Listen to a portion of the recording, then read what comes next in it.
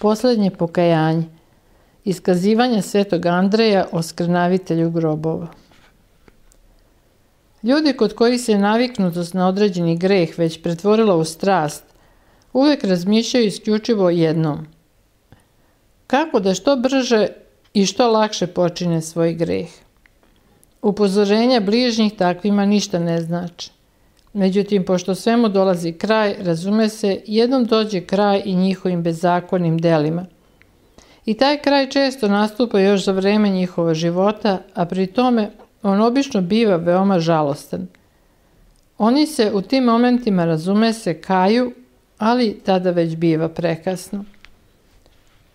Za života svetog Andreja, Hrista radi jurodivog, u Carigradu življaše neki okorali grešnik, koji beše krao stvari iz grobova.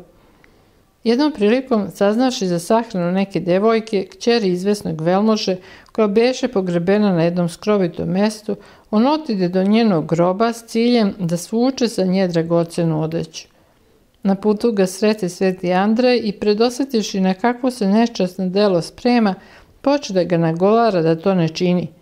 Preteći mu da će ga protivnom sustići gnev Božiji.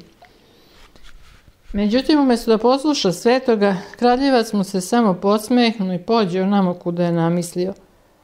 Odvalivši kamen sa pećinjem u koji je ova devojka bila pogrebena, on otvori njen grob, skinu sa nje mrtvaški pokrov, zatim dragocenu odeću, a najzad čak nije imao stida ni srama, nego je skroz razgolitio, uzevši sa nje sve do poslednje košulje. I upravo u momentu kada je završavao svoje gnusno delo, po zapovesti Božijoj umrla devojka ustade iz groba, udari ga desnom rukom po licu i od toga ovaj nesrećnik u momentu oslepe. Kukavče, reče mu, trebalo je makar zbog stida da mi ostaviš poslednju odeću. Od sada više nikada nećeš krasti i od ovog momenta saznaćeš da postoji Bog, da je živ Isus Hristos, da postoji sud i pravedna nagrada ili kazna nakon smrti. Oslepeli kraljevac posle ovoga, hteo ne hteo, mora da ostaviti svoj prljavi zanat i hraniti se od milostinje. Često je prekorevao sebe zbog svog pređašnjeg života, ali bilo je odviše kasno. Neka si prokleta, govorio bi neki put, nenasita gramzivosti moje. Zbog tebe sam postao slep. Aj, teško onome ko živi prazno i bavi se krađom. Ali prošlo se, nažalost, nije mogla vratiti. Braćo moje, nije li nešto slično prisutno i među nama? O, veoma često.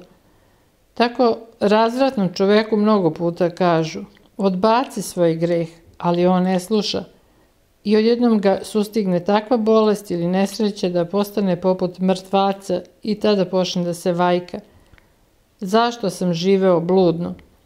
Ili kažu pijanici, ostavi svoje pijanstvo, Ni on ne posluša, tako da svi vidimo kako njegova porodica luta od kuće do kuće, a on sam, poput kajna, skita i potuca se pod zemlji. I ovakav grešnik kasnije govori, bolje da nisam pio jer do ovoga ne bi došlo. Ili lopovu mnogi savetuju, nemoj krasti, a on ne želi da ih posluša i samo odjednom čuješ da je uhvaćen i ubogaljen za čitav život i on se grize i kuka do nebesa – Da nisam krao, ostao bi zdrav. Ali sve to nije ništa u poređenju sa onim što očekuje posle smrti ovakve grešnike ukoliko se ne pokaju posle smrti. Pošto dospaju na sud Boži, oni će zaista kazati planinama padnite na nas i bregovima pokrijte nas. Evanđelje po Luki 23.30. Ali, nažalost, bit će prekasno. Spasi nas, gospode, od svakog polaženja na put nečašća, jer to je klizav put, strašan i poguban, tako da neizostavno sve koji njime hode odvodi u pogibao. Amin.